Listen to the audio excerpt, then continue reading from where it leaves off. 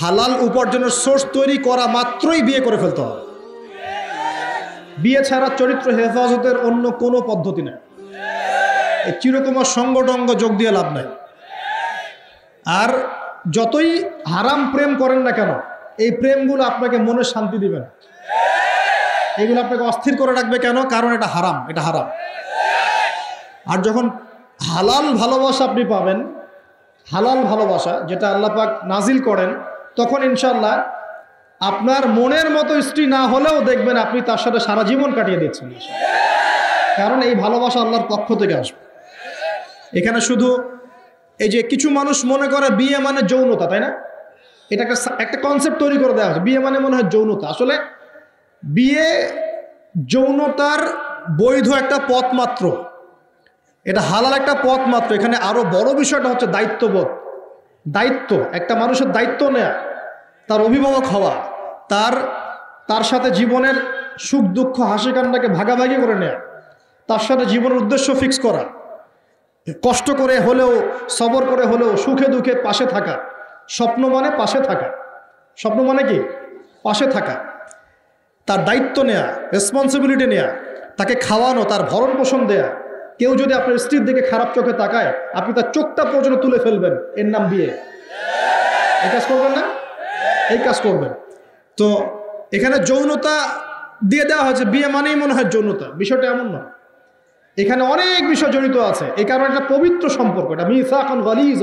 এটা কঠিন অঙ্গীকার আল্লাহর পক্ষ থেকে। এই কারণে দেখা যায় অনেক চড়াই উতরাই পার হলেও বৈবাহিক সম্পর্ক ঠিক থাকে। থাকে না? কিন্তু যত দিন যাচ্ছে কি হচ্ছে? এই ভাঙ্গনগুলো বাড়ছে। কেন বাড়ছে? বিকজ বিয়ের আগে প্রেম বিয়ের আগে অমুকের সাথে প্রেম, অমুক জেনা পর্নোগ্রাফিতে আসক্ত, পরকিয়া, ওই সিরিয়ালস পশ্চিমা সংস্কৃতি হ্যাঁ বস্তুবাদিতায় সব মিলিয়ে বিয়েগুলো ভেঙে ভেঙে যাচ্ছে এখন। পরিবারগুলো নষ্ট হয়ে যাচ্ছে যাচ্ছে না?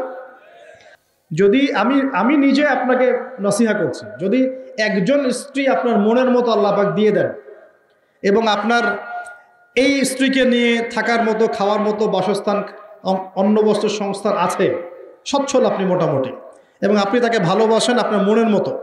আপনি তাকে নিয়ে সারা দুনিয়ার জীবনটা কাটিয়ে দেন। কাটিয়ে দেন।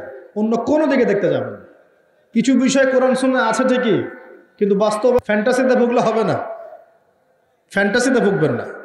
এগুলো কঠিন। আর এখন যে অবস্থা পড়েছে একজন স্ত্রীকে সন্তুষ্ট করাই তো কঠিন। আর মানুষ চারজনকে সন্তুষ্ট করতে চাচ্ছে।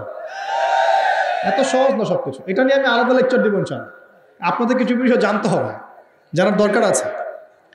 আর ব্যালেন্স করা এত সহজ নয়। ব্যালেন্স করা এত সহজ নয়। সর্বোচ্চ চেষ্টা করার পরেও দেখবেন, সর্বোচ্চ চেষ্টা করার পরেও দেখা যাবে দিন শেষে আপনি অপরাধী হয়ে বসে আছেন। আর আমি একটা লেকচারে বলেছি না, পুরুষ মানুষ বোকা। পুরুষ মানুষ কেন বোকা? কারণ সে সবাইকে খুশি করতে চায়। সে চায় মা সুখে থাক, বোন সুখে থাক স্ত্রী সুখে থাক, যদি আরও স্ত্রী থাকে, ও সুখে থাক, সন্তানরা সুখে থাক, সবাই ভালো থাক। এবং তাদের ভালোর জন্য তারা কত কষ্ট করে। দিন রাত ডিউটি করে, অফিসে যায়, আসে, জ্যাম ফেস করে, মানসিক প্রেশার নেয়, শারীরিক প্রেশার নেয়। নাই না? অথচ এই কষ্ট কিন্তু মহিলারা বোঝে না, বোঝে? সবাই বোঝে না। আছে, অনেক ভালো স্ত্রী আছে, কিন্তু সবাই কিন্তু বোঝে না। মনে করে যে পুরুষ মানুষ মনে হয় ভোগবাদী, খালি মেয়েদেরকে ভোগ করতে চায়। অথচ অথচ সবাইকে সুখে রাখার এই চেষ্টায় একজন পুরুষ দিন শেষে নিজেই সুখী হয় না। বহু পুরুষ শেষ বয়সে গিয়ে একাকিত্বে ভোগে, একা হয়ে যায়। এই জন্য বলছি ফ্যান্টাসি বাদ দেন। ফ্যান্টাসি বাদ দিয়ে হালাল রিজিক হয়েছে, একটা নেককার, পরহেজগার মেয়ে দেখে বিয়ে করে ফেলেন। ব্যাস, তাকে নিয়ে দুনিয়ার ছোট্ট জীবনটা কাটিয়ে দেন। আর জান্নাতে তো হুর পড়ে অপেক্ষা করছে ইনশাল্লাহ কি মনে করেন, অপেক্ষা করছে না? এই লেকচার বাসায় গেলে কি হবে? আমার অবস্থা আমি জানি না।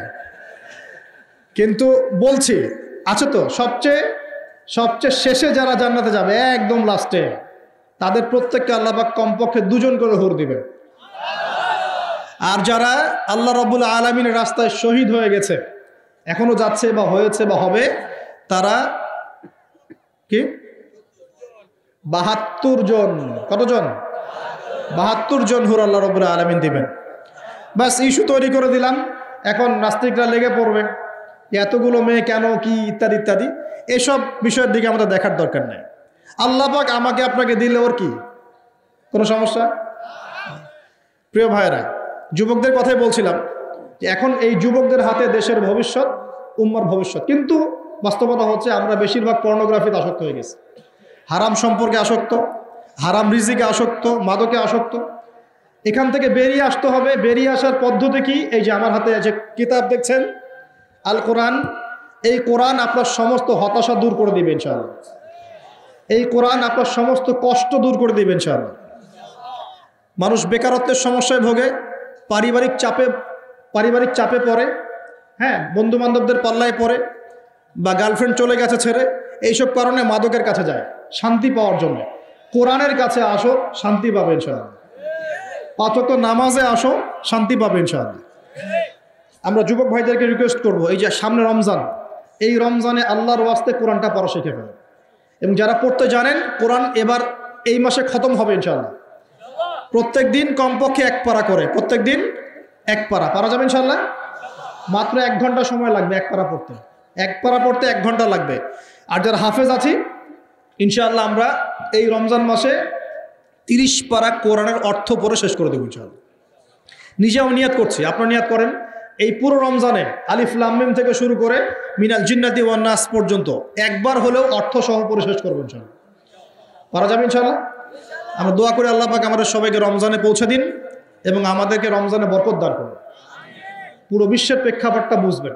বিশ্বে এরকম যুদ্ধ বিগ্রহ চলছে এবং সারা বিশ্বে পশ্চিমাদের দ্বারা ইহুদি খ্রিস্টানদের দ্বারা মুসলিমদের উপর ব্যাপক নির্যাতন চলছে। এই নির্যাতন থেকে বের হতে হলে আমাদের শক্তি বৃদ্ধি করতে হবে। কি করতে হবে? শক্তি বৃদ্ধি করতে হবে। কিছু কথা খোলামেলা বলতে হবে এখন। কারণ খোলামেলা কথা বলারই সময় এখন। এখন এখন না বললে অনেক দেরি হয়ে যাবে। মুসলিমদেরকে জাতিগতভাবে এখন ঐক্যবদ্ধ হতে হবে। আপোষে এই হিংসা বিদ্বেষ মারামারি কাটাকাটি বন্ধ কর।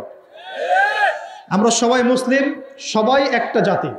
আমাদের মধ্যে ইখতলাফ থাকতে পারে, কিন্তু আমরা মত মত পার্থক্য থাকলেও মত বিরোধ যাব না ইনশাল্লাহ আমরা, যদি কোনো মুসলিম ভাই আমাকে গালিও দেয়, যদি কোনো মুসলিম ভাই আপনাকে আমাকে গালিও দেয়, আমাদের সাথে শত্রুতাও করে, তারপরেও আল্লাহর দুশ্মনদের সাথে মোকাবেলা করার জন্য আমরা একসাথে লড়বো, ইনশাআল্লাহ।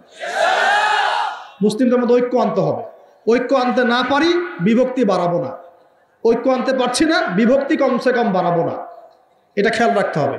এরপরে আমাদের মুসলিমদের প্রথম দরকার জ্ঞানের বিপ্লব। কিসের বিপ্লব?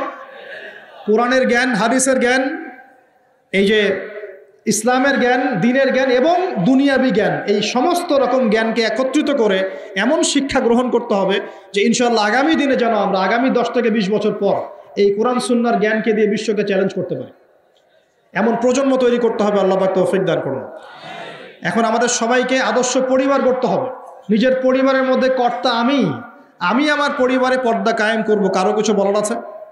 আমি আমার পরিবারে নামাজ প্রতিষ্ঠা করব, কারও কিছু বলার আছে? আমি আমার পরিবারের মধ্যে দিনের এলেম, তালিম চালু করব, কারও কিছু বলার আছে? নিজের পরিবারে কর্তা আমরাই, অতএব পরিবারটা কমসে কম ইসলামিক করে গড়ে তোলেন, আল্লাহ পাক তৌফিক দান করেন। চার নম্বর, আমাদের সন্তান সন্ততি যারা আছে, তাদের সবাইকে ইসলামিক শিক্ষা দেওয়ার চেষ্টা করতে হবে। যদি ইসলামিক শিক্ষা দিতে এই সমাজ ব্যর্থ হয়, তাহলে নতুন শিক্ষা প্রতিষ্ঠান গড়ে তুলে হলেও শিক্ষা দিতে হবে ইনশাআল্লাহ। আল্লাহ পাক তৌফিক দান করুন।